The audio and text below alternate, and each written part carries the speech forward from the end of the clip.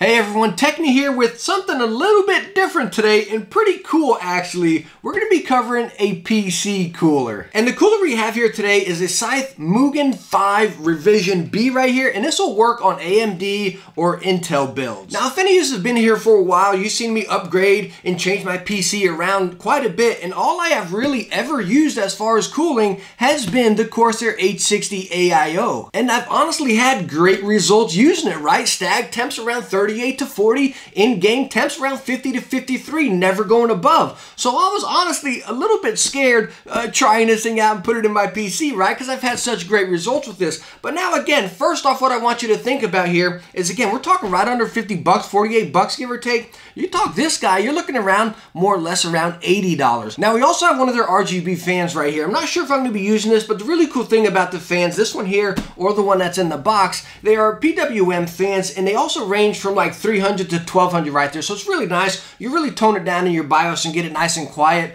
or, or louder and faster to really kind of complement your build and as far as your cooling within your case. So anyways, let's go on and pop this thing open and see. I mean, by the way, pretty big box here, a little bit lofty, right? So first off, we have all of our, wow, that doesn't sound, that doesn't sound fun. Let's see what all this is. This, this honestly doesn't sound fun here. so not too bad. Oh dear. There, there it goes. Now, now I'm going to be missing a piece. All right, so actually not bad at all. They give you some Intel pieces and then your AMD pieces. They actually give you a tube of thermal paste in here too. I mean, how awesome is that? That is super cool right there. Your back plate right over here, which has rubber gaskets on it as well. Really cool touch. And they give you a pretty serious screwdriver right here. I mean, come on, this is no joke. So here's our fan. Here is our fan that comes in, and again, PWM right here, and it's really nice. On all the four corners, as you can see here, the front and the back, you have these very nice big rubber gaskets. There we go. Look, I can pop one off. If you can see that right there, check out that rubber gasket. Really, really nice. It's going to really calm down that vibration or anything like that going right against the uh, cooler there. Very nice quality. Feels very durable as well. You can't get any flex on it. Very nice fan here. All right, so let's get to the meat and potatoes here. Let's check this thing out. Oh dear. Oh dear. Looks like a stinking car engine or something. I can't get it out. Ah. Jeez. Holy smokes. Look at this stinking thing. What the heck? It sure does look cool, doesn't it? I mean, look, imagine this thing in the PC. All right, so let's just take a moment to kind of take this in here. I mean, look at this big guy. I know I'm focusing on the wrong thing, right? It shouldn't be about aesthetics here. It's all about performance. But I'm sorry. This thing looks incredibly stinking awesome, and I think it's going to look so cool in the PC. It looks like a big muscle car uh, radiator or something like that, you know what I mean? Gosh, this thing looks so cool. All right, all right, all right. Let's go on and get the PC up here. Let's get the PC up here and get the... I mean, I just can't get over how cool this thing looks. I mean, I'm sorry. I, I'm probably sounding incredibly cheesy here. This is my first time using one of these again, and I just think it looks incredibly cool. By the way, it's pretty heavy. It feels incredibly durable as well. All right, so we have the PC up here. As you can see, I have my Corsair AIO right up there, and we have our little hoses over here. So kind of just an example. As you can see, this is gonna, kind of be plopping in there. We're gonna be removing those hoses and everything. Uh, by the way, as far as my PC build, just a quick reference before we get installed, and I have the fan in the back, the exhaust, two up top, 120s by the way, two, a, I have a uh, pull push on the AIO right up here, and then I have a 140 right in the front. That's pretty much all for the 5700 XT right there. By the way, I am not going to use the thermal paste that came with the cooler right here. I'm going to use the same thermal paste I used on the AIO right there, which is the Arctic Silver 5 thermal paste, just to kind of make it fair and balanced across the board.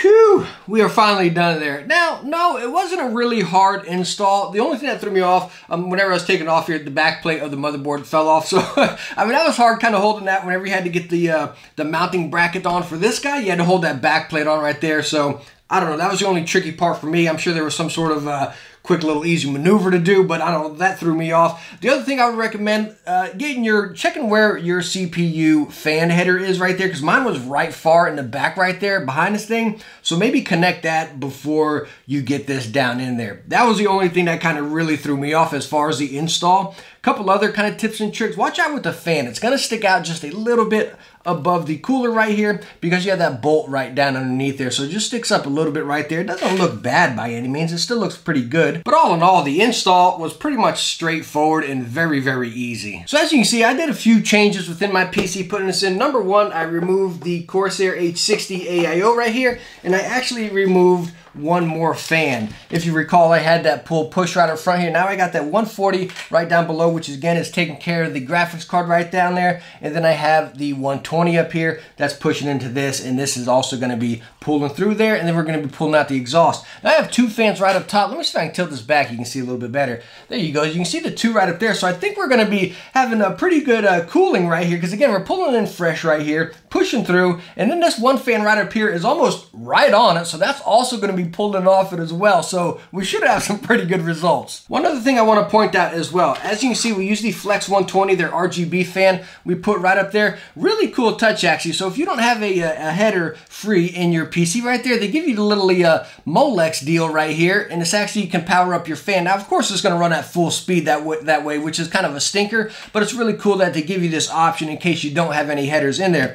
Also, the fan works by the uh, motherboard RGB as far as MSI, Gigabyte, Asus, uh, ASRock, and all that stuff. But um, I got to connect it into my actually hub in the back, and I'm hoping it'll actually control through that. I'm not sure if it will. It'll be awesome if it does, but if not, I got ASRock uh, motherboard, and we'll just connect it that way. But anyways, let's get to the fun part and actually test out some games. I'll be back with you guys tomorrow. I'm going to play some games for the rest of the day. Actually, I guess I got to clean up this mess first.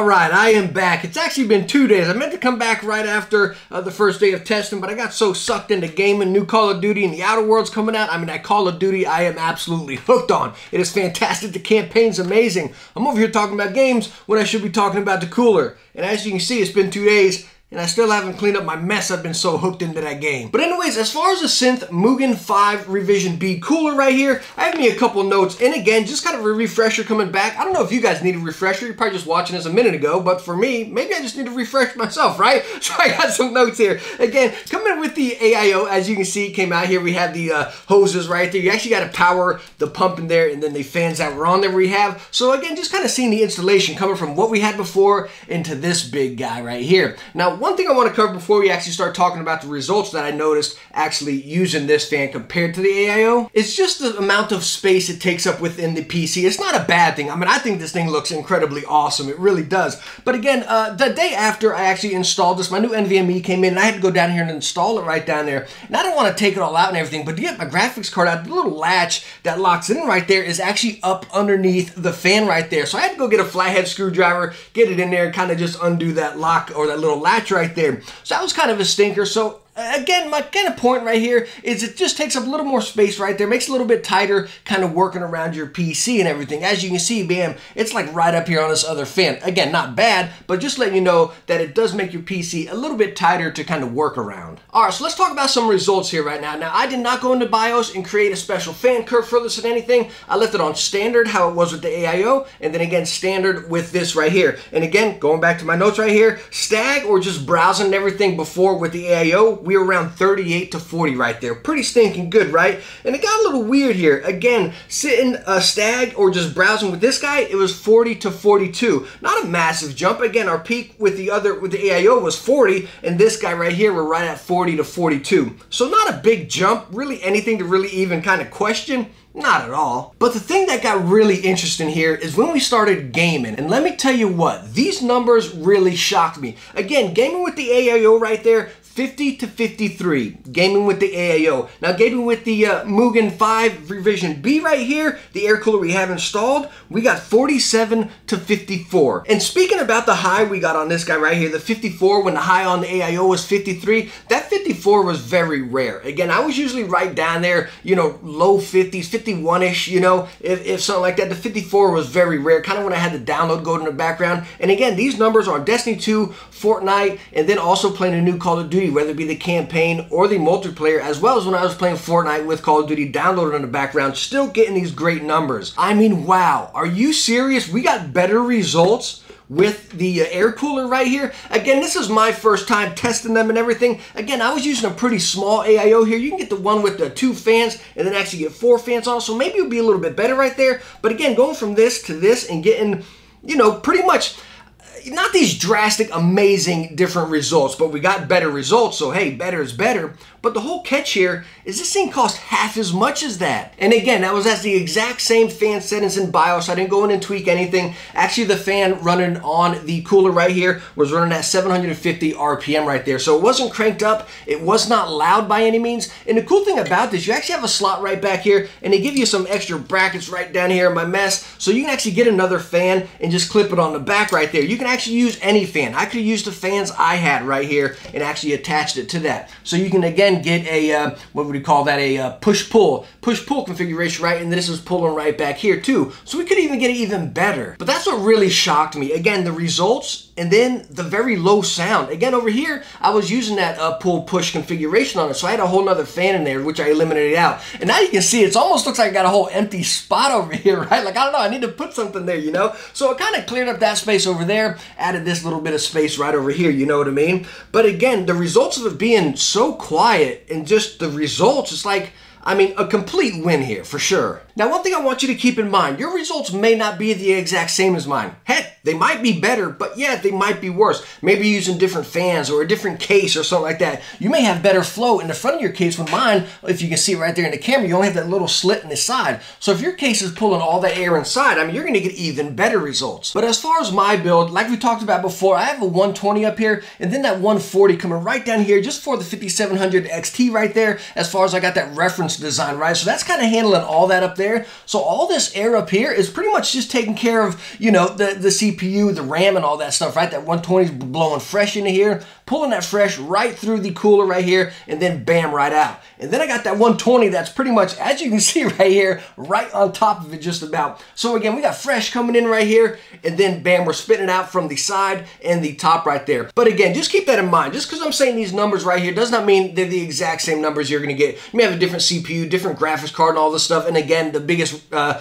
judge will be as far as your case and your basic airflow inside of there, you know. But you kind of take this as an idea. And if you got the same type of setup right here, you know, kind of get this flow and get these kind of results. But really, all in all, the biggest factor I think is going to be your case. Do you have the vents on the top and everything? Do you have the holes on the back right here and all this nice airflow as far as intake and everything? I could probably use some more intake on the front as it's just going on the side right there, you know? So again, I think the biggest factor is going to be your case. All right, so all in all, my take on the Mugen 5 Revision B right here, air cooler, I mean, I love this thing. I highly recommend it. Again, with these results, I tested this right here with you guys. This is my first time using one of these, right? So I, I had no idea what to expect. Bam, slapped it in there and hoped for the best, right? Crossed my fingers. And wow, I'm just incredibly shocked with the results. As far as the price, again, you're getting it for half the price of this guy right here. Does this guy look cooler?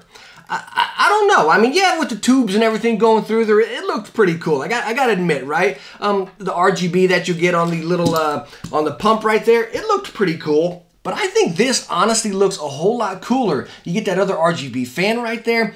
I don't know. I think it looks super cool. They got different colored ones, the black ones and whatnot. They even have bigger ones. And I'm really excited to kind of test some of those out. They got ones that like take up the whole little bit right here, right? Where you have a fan on the uh, on the back, the middle, and the front. Like, wow, what kind of results will we get with that? The other thing, I don't know, with me, like AIOs, I, me being fairly new to PC building and stuff like that, they always just kind of worried me. Would something ever happen?